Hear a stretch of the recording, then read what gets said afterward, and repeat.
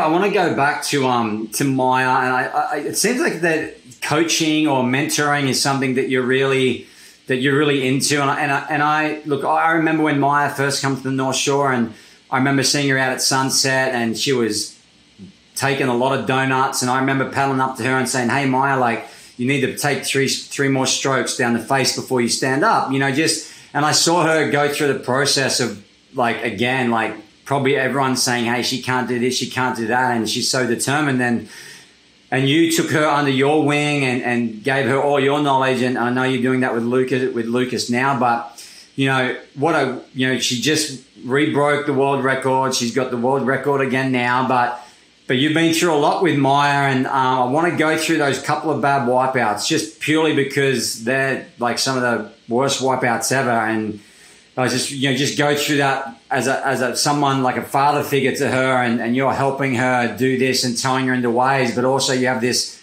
responsibility to try and keep her safe, right? And and I know there's that one. There was a one really she had a one really bad wipeout at Chopu where she got stuck in the yeah the right and the left right, and she was getting recycled, and then obviously the one at Nazare where she she was unconscious there for a little bit at the end. But just take us through what it was like to be there when you're mentoring someone like that and, and being there on the scene when those wipeouts happen?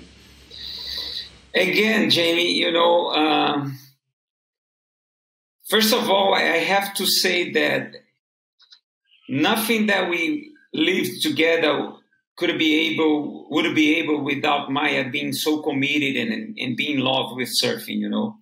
So I I have to to say that Maya um, because of her personality and like you said she's so focused and she's and and determined. Yes so she's determined and in everything that you know a great athlete needs to you know put time to be able to evolve. Because uh, we all know and she knows too that she doesn't have that much talent you know so she had to somehow overcome that lack on talent by being so persistent on training hard. And by the time that we started surfing together, I noticed that too, you know, and we started to work together. And, I was telling her, you need to do this, you need to do that, let's do this, let's do that. And she was so well on her mindset and on her routine, daily routine of training that she would come to me after, at the next day and say, Carlos, do you remember that you told me to run 10K? I, I went 20Ks. I, oh, do you, you said for me to, you know, uh, train my apnea, you know, so I'm doing this with these guys, you know, I'm going to do this training with these guys. So she's very focused on everything that she does on her, her life, especially when it comes to big wave surfing.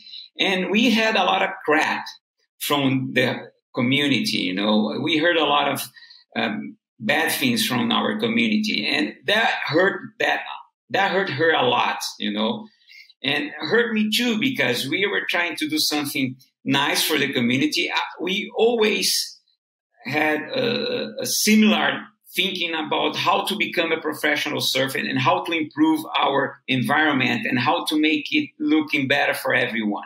So we knew that she was a, a, a beautiful girl.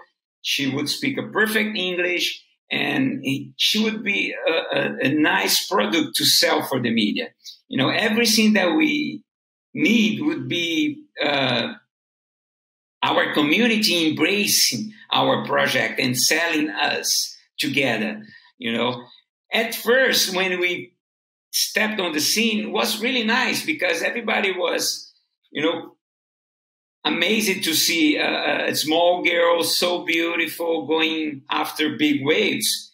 But then, then you know, she got all the attention so quickly. You know, was very quick. You know, after that swell at at, at Chopo, you know, the first swell at Chopo, that she, you know she got pounded, and then she go to the boat, and you know, uh, I think Raimana took at her and led, you know, uh, rescued her and she she went to the boat and everybody was like oh my god you know that wipeout she, she's not gonna surf anymore so i got a couple waves and then, then i go to the boat and, and i i come to her and say maya put your vest she said why i said you're gonna surf we've been training together i know how to, to make you you feel safe out there. And then she go out and then she got a nice battle with amazing picture. And she was writing for Billabong at that time. And she was on the billboard all over, you know, California. And her name was so high. And then, you know what? I at first everybody was okay. Uh, we got this beautiful girl coming, and then you know we got someone that doesn't have much talent, but it's getting a lot of uh, uh, you know uh, place. I mean, space on the media. You know, being recognized a lot by the media. But we have you know guys from our community that were judging her because she doesn't have that much talent. Maybe she wasn't ready to be there you know, because she was having, you know, bad wipeouts that people that has a lot of talent, you know, wouldn't go through that situation. Anyway, it's a lot of judgment, which is normal. It's okay. But we didn't give up, you know. So so was Chopo once, Chopo twice at that event that you, you know, said to me uh, you mentioned, you know, that she got a wave. That was one of the first wave of the set, and then you know a huge set come at the back. I, I think was you know that set that Bruce Irons got one, one, huge wave, and you know I can ah and you know ah, our friend uh, that got the magic wave that everybody you know we have the what's his name Nathan again? Fletcher. Fletcher, yeah, Nathan Fletcher. You know, he got that wave, and you know, at that set, Maya was in between the rocks and the current. You know, got pounded, and I was trying to rescue her, and then put Poto got her, and, and she was okay. You know, to be honest with you, there was a lot of overreacting. Wasn't that bad at all? You know, we, we took her to the ambulance. You know, you know the the paramedics told, no, she's okay. She's, she, you know, wasn't that bad, but you know, everybody overreacted and people wanted to say something, you know. And I think Kelly tweeted something, oh, and and exchanged some, you know, uh, uh, message with her. You know, that was private. You know, I'm not gonna say because you know we were friends, me and Maya, you know, very close, and she was showing me, you know, Kelly sending this message to me, and you know. But anyways, I don't want to bring that because that doesn't belong to me but people were, trying to push her to maybe you know not surfing big waves anymore. But maya would never give up. So we, we went to south africa together. We got some really nice waves there. And you know what's really funny? Because at first when we start surfing i always have, have this kind of approach with people you know. I don't want people to think that i'm pushing them in a way that they're going to be dependable I want to push them to be. Uh, I want them to be. Uh, how how can I say that? I want them to be independent. You know, I want you to survive by yourself. I don't want you to to depend on Carlos to surf big waves. So you're gonna you're gonna ride the ski. You're gonna rescue me. You're gonna you drive the car. You're gonna back up on the ramp and put the ski in the water. You're gonna flush the ski. You're gonna do everything. And she was doing everything. So she had all the procedure on her mind and she was following the, the procedure. She was following the protocol. She was delivering her missions all the time. And, and I really liked that. And I remember one time when we were uh, together after Garrett got that big wave at Nazaré and, and, and, and he broke the record. And we looked after each other, each other, and she said to me, hey Carlos, what do you think about Nazaré? You know, I want to go there. One, I want to break the world record.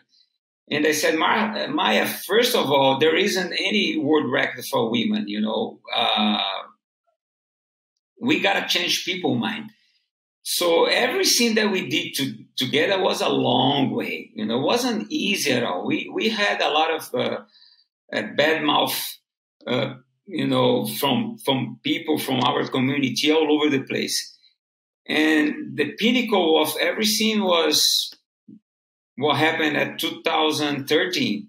You know, that rescue that wasn't, you know, uh, the perfect rescue, but at the end, work it out. and we, again, we put our lives on, on the line, but we were used to it and we still doing it. Uh, she was training hard, you know, she wanted to be there, you know, she said to me, hey, Carlos, uh, if I am there for this well, are you going to help me? I said, Maya, you know me. I'm going to help you anytime, you know, but please make sure you go and surf, you know, because every time I put my time to help you, I'm not surfing. And I'm not there just to help you. I want to go surf because I'm a surfer. I love big wave surfing. And there was something that we had to work a lot on our relationship because I was feeling that I was getting my performance downgraded because I wasn't surfing with the best partner of the time because she wasn't, you know, the best driver or the best rescue.